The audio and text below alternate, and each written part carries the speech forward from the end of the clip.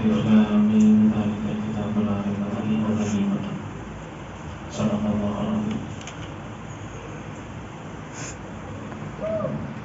حاضرین کرام ناظرین کرام اور خواتین السلام علیکم ورحمۃ اللہ وبرکاتہ اللہ تعالیٰ کا فضل و کرم ہے کہ اللہ تعالیٰ نے پھر سے جو ہے ہم کو رمضان عطا فرمایا رمضان جیسا مقدس مہینہ جس میں ہم کو تراویح پڑھنے کی توفیق عطا فرمائی۔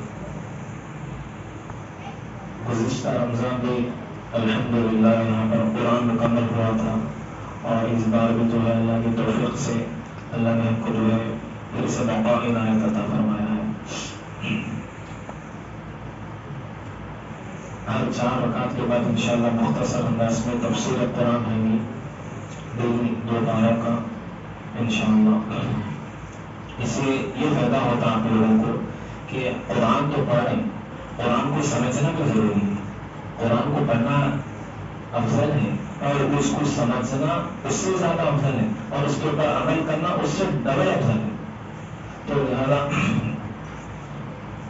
سورت فاتحہ محترم حضرت اکرام پہلی بات تو بسم اللہ الرحمن الرحیم بسم اللہ الرحمن الرحیم یہ اللہ تعالی کا جو ہے ایک نام ہے، اس میں جو ہے اللہ تعالیٰ کی صفتیں بیان کی گئی ہیں۔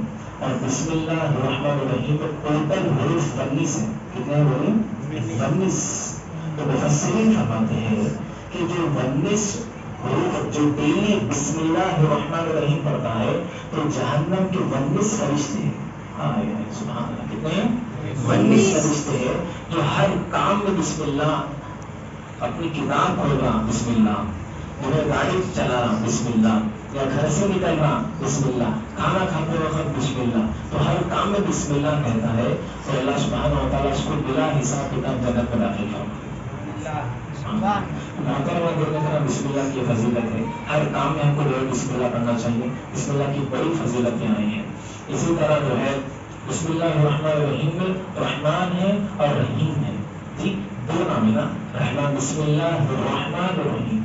تو رحمان جو ہے، یہ رحمان مفسرین فرماتے ہیں، رحمان جو ہے، تمام نوع انسان، تمام نوع آدم انسان کے لیے اللہ رحمان ہے۔ دنیا میں، اگر اللہ کے نزدیک جیسا ابھی جو ہے بغیر اللہ بلکہ قرآن میں لفظ ہے۔